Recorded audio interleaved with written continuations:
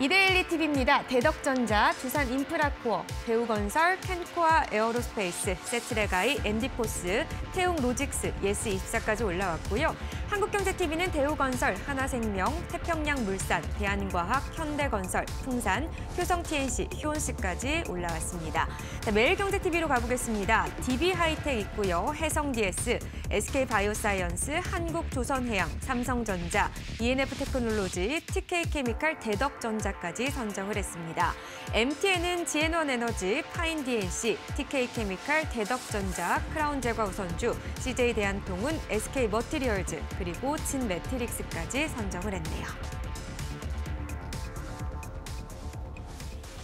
네, 전반적인 분위기부터 짚어보겠습니다. 오늘 특징주 흐름 어떻게 보세요? 어, 전반적인 흐름들 보게 된다라면 지금 현재 그 시장 같은 경우는 뭐 강세가 계속 유지되고 있습니다만 어, 지수가 움직임 대비해서는 좀 조용한 느낌들을 좀 보고 있고요. 예. 어, 그러다 보니까 개별 이슈를 갖고 있는 종목들이 계속해서 올라가고 있는 모습들을 확인할 수가 있습니다. 오늘 시장에서 각 증권 그 경제 채널이 얘기한 종목들도 보게 된다라면 개별 이슈를 가진 개별 종목들인데 어, 이게 너무 이렇게 작은 종목들은 또 아니에요. 예. 어, 그 어떻게 보면 어, 그 대부분 뭐 너무 이렇게 소재 뭐 너무 작은 종목들은 아니지만 어, 따라서 테마로 형성되기보다는 결국 어, 이슈와 어, 이익에 따라서 움직이고 있는 모습들을 우리가 확인할 수 있다. 그런 것들을 콕 집어서 얘기하고 있다. 이렇게 설명을 드릴 수가 있겠습니다. 네, 시장에서 보면 좀 빠른 순환매가 이루어지고 있는 것 같기도 하고 또 개별 장세는 계속되고 있고 그래서 오늘 특징주 같은 경우 오랜만에 올라온 종목들도 좀 눈에 띄는 네. 그런 모습인 예. 것 같네요.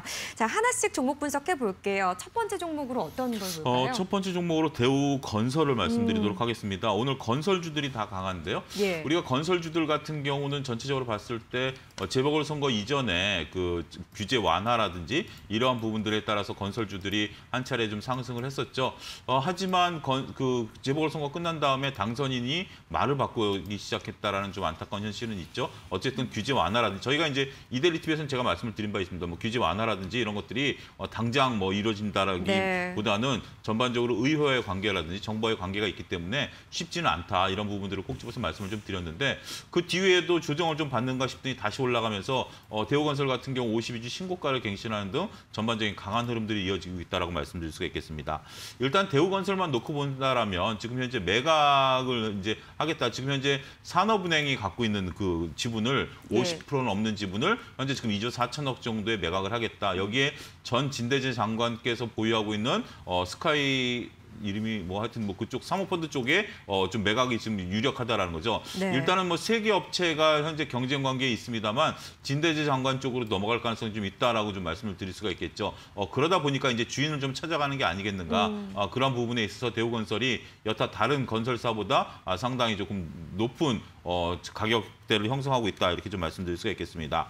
어, 이러한 것들 근데 사모펀드라는 단점에 대해서도 우리가 좀 생각을 해봐야 되겠죠. 어, 주인이 구체적인 주익보다는 펀드이기 때문에 어, 조금 이런 것들에 대한 조금 어, 부분들도 좀 그, 감안해서 생각을 해야 되고 대우건설 같은 경우 작년에 영업이익이 상당히 높았습니다. 어, 전체적으로 봤을 때 어, 그런 영업이익이 올해 초까지 이어지고 있고요. 어, 재개발 재건축 1위가 대우건설이었습니다. 이런 부분들 올해도 지금 현재 상당히 많은 수, 1분기에 재개발 재건축에 대한 어, 수주 소식들이 좀 들려오고 있는데요.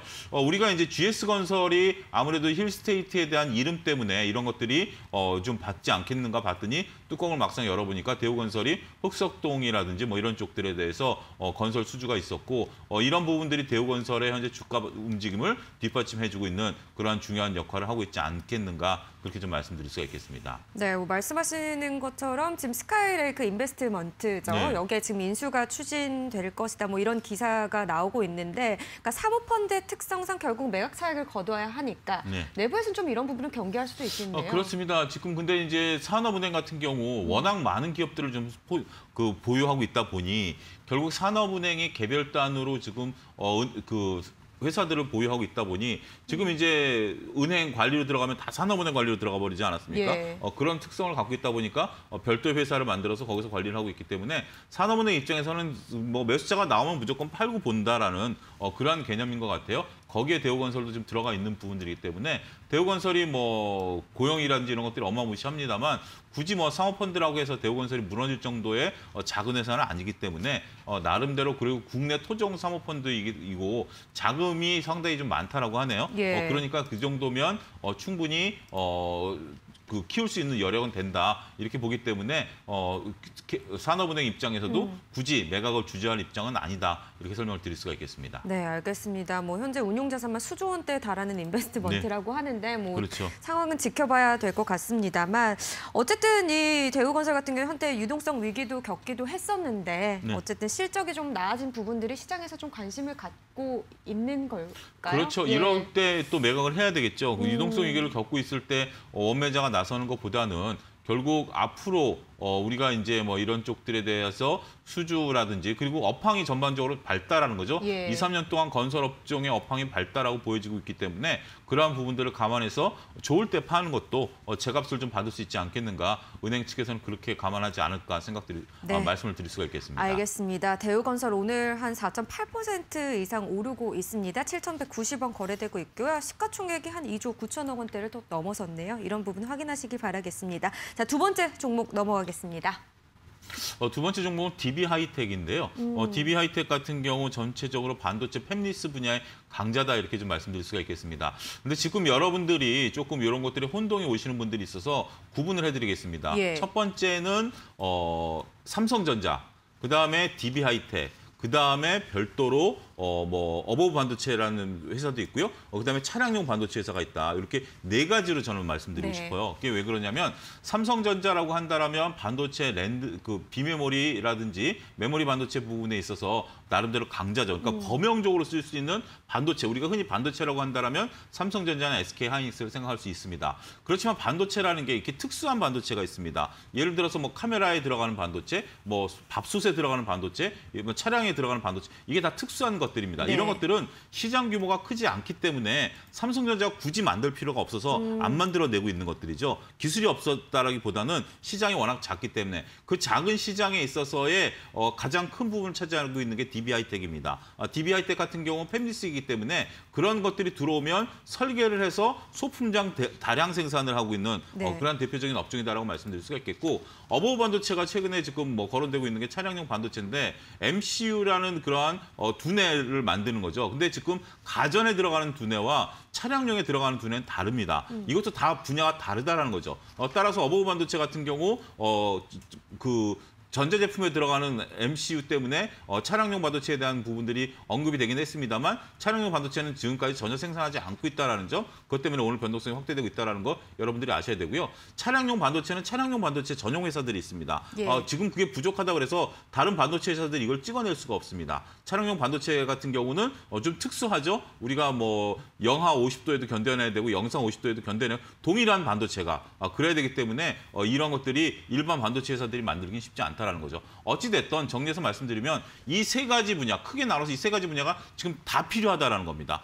지금 4차 산업 시대가 되다 보니까 반도체 수요가 어마무시하게 늘어나고 있고요. 어, 그 각 분야별로 이런 것들이 어, 대란이 일어나고 있기 때문에 한쪽에서 여유가 있다고 해서 다른 한쪽을 생산해낸다? 이건 뭐 말도 안 되는 뭐 예. 논리입니다. 아, 따라서 지금 여러분들이 냉정하게 보셔야 될 것은 삼성전자는 삼성전자 나름대로 쇼티지가 나오고 있고 차량용 반도체는 차량용 반도체 회사들끼리 싸우고 있고 어, 그다음에 DB 하이텍 같은 경우도 어, 지금 현재 다양한 품종의 어, 반도체에 대한 수요가 늘어나고 있고 여기에 따라서 제1공장 증설, 제2공장 증설까지 나서고 있기 때문에 DB 하이텍에 대한 관심도 나름대로 각각의 입장에서 본다라면 어마무시한 성장성과 어, 저력을 갖고 있는 회사다 이렇게 좀 말씀드릴 수가 있겠습니다. 그러니까 결국에는 지금 이 반도체 대란이 어떠한 분야든 산업 전반에 지금 품귀 현상이 나타나고 있다고 볼수 있는 거잖아요. 예. 네. 특- 특히 지금 대란이 주도를 하고 있는 게 차량용 반도체인데요. 음. 차량용 반도체라는 것이 전기차라든지 뭐 하이브리드카라든지 자율주행차라든지 이런 쪽에 어마무시한 그 반도체 수요가 들어가고 있는 분야 아니겠습니까? 이러한 분야에 있어서 소수가 만들고 있기 때문에 지금 현재 쇼티가 나고 있는 거죠. 예. 그렇다고 해서 대기업들이 참여할 수 있을 정도 시장. 이번에 어 그 바이든 대통령이 불러서 삼성도 만들어라 하니까 인텔은 만들겠다라고 하고 있지만 삼성은 주저하고 있는 게 전체 반도체 시장에서 5%밖에 안 됩니다. 음. 이 시장에 과연 어, 대기업이 뛰어들어서 어떤 이익을 남기겠는가 이런 부분에 대한 고민도 삼성이 지금 하고 있는 그런 부분이 아니겠는가. 가성비적인 것도 따지겠네요. 그렇죠. 그러니까 예. 기술력보다는 이게 더군다나 그 보통 우리가 PC 같은 경우 2, 3년마다 교체 음. 수요가 있지만 차량용은 한 10년, 15년 정도까지 가지 않습니까? 어, 예. 그렇기 때문에 그런 것들에 대한 어, 비용에 대한 부담도 있기 때문에 음. 삼성이 시- 선뜻 결정을 못 내리는 또 하나의 요소가 되고 있다라고 말씀드릴 수가 있겠죠. 네, 알겠습니다. 뭐 계속해서 반도체 품귀 현상 논란이 뭐 지금 몇 달째 된것 네, 같습니다. 그렇지만 네. 여러분들이 중요한 건 이게 어, 섞어서 생각하시면 안 되고요. 음. 제가 딱 회사를 말씀드린 게 삼성, DB하이텍, 어보브 반도체, 차량용 반도체 회사, 뭐 IA라든지 뭐 이런 쪽들에 대해서 딱딱 구분해서 이것은 나름대로 진입 장벽을 갖고 있는 어, 벽이 가운데 존재하고 있다는 것을 인식하셔야 된다고 말씀드릴 수 네, 있겠습니다. 알겠습니다. 차량용 같은 경우는 어든 뭐 TSMC 정전사고 이런 얘기 나오면서 그래. 어보브 반도체도 뭐 상한가도 가기도 하고 네. IA도 급등하고 이런 네. 흐름들로 좀 연결시켜서 보실 수 있을 것 같고 네, 세 가지로 좀 구분을 해주셨습니다. 참고하시면 될 것 같고요. 그럼 DB 하이텍 같은 경우는 그래도 긍정적으로 계속 보시는 건가요? 그렇습니다. 일단 예. DB 하이텍도 나름대로 DB 하이텍만의 강 점이 있죠. 음. 어, 삼성전자가 다품종, 아, 그러니까 소품종 다- 대량 생산이라면 DB 하이텍 같은 경우 다품종 소량 생산입니다. 아, 따라서 이러한 것들은 나름대로 기술력이 있다라는 거죠. 음. 팹리스라는 것이 자신들이 스스로 설계에서부터 어, 생산까지 할 수 있다라는 것은 어마무시한 기술력이 있다라는 거죠. 어, 전용적, 그러니까 예를 들어서 특정 기업의 전용 라인을 깔수 예. 있다라는 것들입니다. 우리가 우리가 단순하게 화장품 회사를 OEM 업체보다는 ODM 업체를 더 기술력을 쳐주는 것처럼 음. 이렇게 페미니스 업체 같은 경우, 대만 같은 경우 TSMC도 대표적인 페미니스 업체 아니겠습니까? 그렇죠. 이런 기술력을 인정해 준다라는 것은 동부하이텍 같은 경우 어, 정말 그 삼성전자, SK하이닉스 못지않게 높은 영업이익률을 창출할 수 있는 어, 좋은 회사다 이렇게 좀 말씀드릴 수가 네, 있겠습니다. 알겠습니다. 오늘 뭐 거의 3거래일째 상승 흐름 나타내고 있는 DB 하이텍이고요. 오늘도 거의 4% 넘게 오르고 있네요. 4% 가까이 상승 흐름 나타내고 있습니다.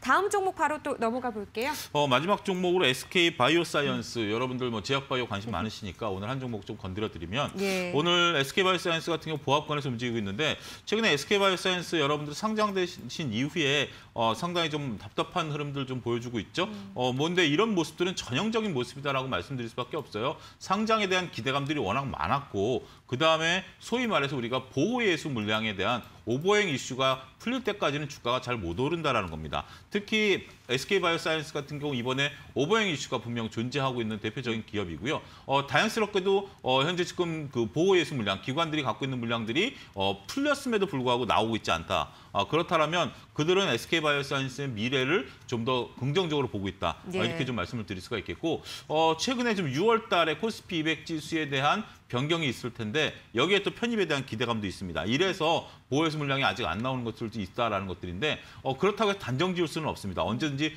보호해수 물량은 좀 쏟아질 수 있기 때문에 적극적으로 공략하기는 좀 어렵습니다만 나름대로 바닥권의 가격을 형성하고 있다라고 본다라면 여기서는 여러분들 분할 매수 관점에 접근을 분할 하는 거죠. 매수로. 예를 들어서 여러분들이 뭐그 100주를 사시겠다라고 한다면 10주씩 모아가는 전략들이 필요하지 한 번에 사는 것보다는 음. 왜냐하면 보호해수 물량이 언제 출해될지도 모르고 그다음에 코 스피 200에 어, 지- 편입이 안 될 수도 있는 그런 그렇죠. 문제들도 있기 때문에 이런 것들을 모아가는 전략 어, 필요하다라고 좀 말씀드릴 수가 있겠습니다. 네, 결국은 추세 대응을 해야 된다는 말씀인 것 같은데 분할 매수 관점으로 보시고 사실 어제 같은 경우는 뭐 이런 이슈들 때문에 네. 하락하지 않을까라는 얘기가 있었는데 CMO 관련해서 또 이런 이슈들이 나와주면서 그렇죠. 상승하는 흐름이 있었거든요.